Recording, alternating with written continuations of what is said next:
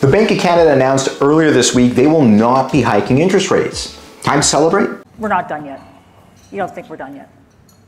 Raising rates. It's pretty interesting. Stick around to see the breakdown of what is coming in the near future in regard to monetary policy inside and outside of the real estate market. Weaker GDP was seemingly the largest contributor for the rate hold decision. The impending recession, i.e. less consumer purchasing, therefore less profits, following eventual layoffs, is apparently starting to show forth, and Tiff Macklem has stated he anticipates the economy to formally enter a recession before the end of this year and continue into the first half of 2024. The goalpost for taming inflation has shifted with the Bank of Canada's target now at 3%, whereas prior to this press conference was 2%. Seemingly, sticky core inflation is proving to be the tedious task and 3% is now the more realistic goal, says reading in between the lines. Further, higher interest rates have been confirmed to be the new normal, with the interest rates of before 2021 becoming a thing of the past.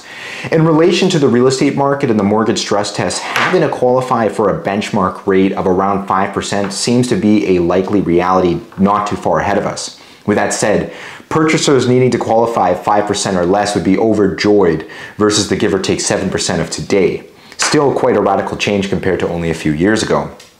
Lastly, as mentioned, core inflation is continuing to remain almost stagnant and therefore puts the likelihood of rate hikes in the near future a probability. How does this all impact the real estate market in the next 12 to 24 months? I expect inventory to increase with fixed rates becoming up for renewal, having downsizers or retirees forced to kickstart their plans ahead.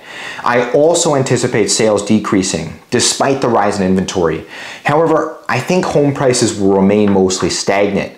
While my predictions are a setup for a softer market, I think it will be shoved short before any real decline in prices occurs as a result of the Bank of Canada beginning to cut rates in 2024, eventually changing buyer psychology, taking those off the fence into the game, and finally allowing those who have been concerned to break their current rate finally make a move heading toward 2025, thus restarting the market into its usual busyness.